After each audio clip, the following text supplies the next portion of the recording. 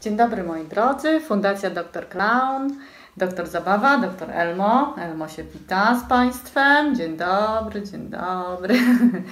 E, Dzisiaj nauczymy się, jak ozdobić kredkę bądź ołówek. A więc moi drodzy, mamy zwykłe ołówki, zwykłe kredki. Przyznacie, że trochę nudne.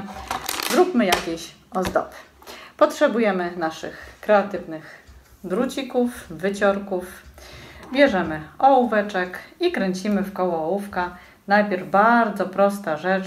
Zobaczcie, każdy z nas umie zrobić taką rzecz.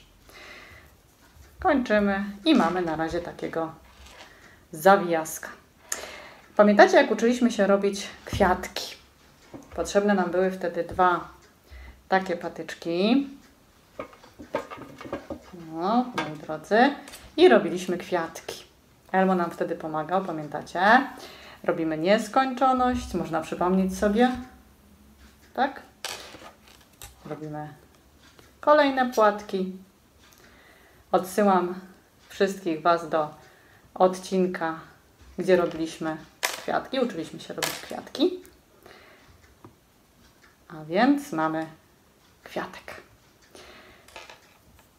Kwiatek dołączymy do naszego zakrętaska.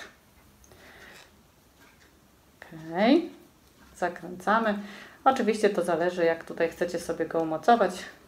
Możemy najprościej zakręcić wokół ołówka.